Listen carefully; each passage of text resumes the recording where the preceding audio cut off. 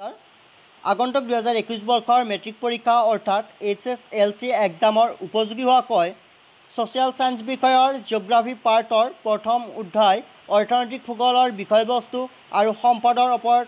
এই ভিডিঅ'টোৰ জৰিয়তে কিছুমান গুৰুত্বপূৰ্ণ কুৱেশ্যন আলোচনা কৰা হ'ব যিবোৰ কুৱেশ্যন আগন্তুক মেট্ৰিক পৰীক্ষা হোৱাটো খুবেই সম্ভাৱনা আছে।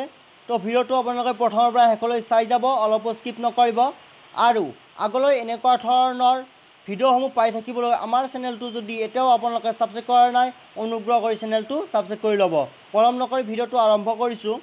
প্ৰথমতে আমি আলোচনা কৰিম এক নম্বৰৰ কুৱেশ্যনসমূহ এক নম্বৰ কুৱেশ্যনসমূহৰ প্ৰথম কুৱেশ্যনটো আছে মানুহৰ মৌলিক সম্পদ কি কি? কুৱেশ্যন নম্বৰ টু প্ৰতিৰোধ সম্পদ কি? উদাহৰণ দিয়া। আৰু এই কুৱেশ্যনটো দুহেজাৰ এঘাৰ চনৰ এইচ এছ এল চি এক্সামত আহিছিল। কুৱেশ্যন নম্বৰ থ্ৰী একেবিধ সামগ্ৰী সম্পদ আৰু সম্পত্তি হোৱাৰ এটি উদাহৰণ দিয়া। আৰু এই কুৱেশ্যনটো দুহেজাৰ বাৰ চনত আহিছিল। আৰু আমি কৈ যোৱাৰ লগে লগে আপোনালোকে ভিডিঅ'টো প'জ কৰি ল'ব আৰু আপোনালোকৰ নোটবুকত কপি কৰি ল'ব। বা আপুনি আপোনালোকে আপোনালোকৰ কিতাপত চিন্তিও ল'ব পাৰে। কুৱেশ্যন নম্বৰ ফ'ৰ আছে আই ইউ চি এন সংস্থাটো কোন আন্তঃৰাষ্ট্ৰীয় সংস্থাৰ অন্তৰ্গত? কুৱেশ্যন নম্বৰ ফাইভ তলৰ কোনটো অনবীকৰণযোগ্য সম্পদ আৰু এই কুৱেশ্যনটো দুহেজাৰ চৈধ্য চনত আহিছিল। অপশ্যনসমূহ দিয়া আছিল পানী সূৰ্যৰ ৰশ্মি গছ গছনি আৰু প্ৰাকৃতিক গেছ। কুৱেশ্যন নম্বৰ ছিক্সটো মন কৰিব তলৰ কোনটো বিলুপ্তপ্ৰায় প্ৰাণী। অপশ্যনসমূহ আছে এশিঙীয়া গড় নলগাহৰি জিৰাফ মিথুন। ইম্পৰ্টেণ্ট কুৱেশ্যন হয় এইটো মষ্ট ইম্পৰ্টেণ্ট কুৱেশ্যন হয়। কুৱেশ্যন নম্বৰ ছেভেন আছে তলৰ কোনটো অজীৱীয় সম্পদ। অপশ্যনসমূহ আছে বায়ু গছ গছনি জীৱ জন্তু আৰু ভেঁকুৰ। এতিয়া আমি দুই নম্বৰৰ প্ৰশ্নসমূহ আলোচনা কৰিম দুই নম্বৰৰ প্ৰশ্নসমূহৰ প্ৰথম কুৱেশ্যনটো আছে মানুহক কিয় মানৱ সম্পদ বোলা হয়? আৰু এই কুৱেশ্যনটো দুহেজাৰ বাৰ চনৰ এইচ এছ এল চি এক্সামত আহিছিল। দুই নম্বৰ কুৱেশ্যনটো আছে কি দুটা গুণৰ বাবে সম্পদক সম্পত্তি বোলে? নেক্সট কুৱেশ্যন আছে সম্পদৰ বিভাজনৰ ভিত্তি চাৰিটা কি কি? কুৱেশ্যন নম্বৰ ফ'ৰ সম্পদ সংৰক্ষণৰ যিকোনো দুটা আঁচনি লিখা? কুৱেশ্যন নম্বৰ ফাইভ নবীকৰণ আৰু অনবীকৰণ সম্পদ বুলিলে কি বুজা? এতিয়া আমি ৰচনাধৰ্মী কুৱেশ্যন আলোচনা কৰিম যিবোৰত পাঁচ বা ছয় নম্বৰ থকা দেখা যায়।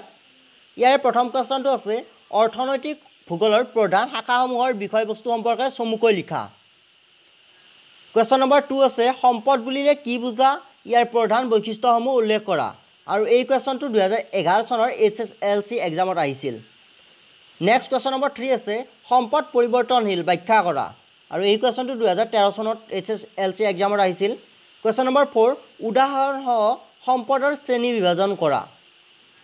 কুৱেশ্যন ফাইভ সম্পদ সংৰক্ষণ বুলিলে কি বুজা? ইয়াৰ প্ৰয়োজনীয়তা কি? দুহেজাৰ এঘাৰ চনত এই কুৱেশ্যনটো আহিছিল। কুৱেশ্যন নম্বৰ ছিক্স নবীকৰণযোগ্য আৰু অনবীকৰণযোগ্য সম্পদৰ মাজৰ পাৰ্থক্য কি কি? উদাহৰণসহ আলোচনা কৰা দুহেজাৰ বাৰ চনৰ এইচ এছ এল চি এক্সামত এই কুৱেশ্যনটো আহিছিল। কুৱেশ্যন নম্বৰ ছেভেন সম্পদ সংৰক্ষণ কেনেদৰে সফল কৰি তুলিব পাৰি? আৰু এই কুৱেশ্যনটো দুহেজাৰ চৈধ্য চনৰ এইচ এছ এল চি এক্সামত আহিছিল। আজিৰ এই ভিডিঅ'টোত আলোচনা কৰা জিঅ'গ্ৰাফী পাৰ্টটোৰ প্ৰথম লেচনটোৰ।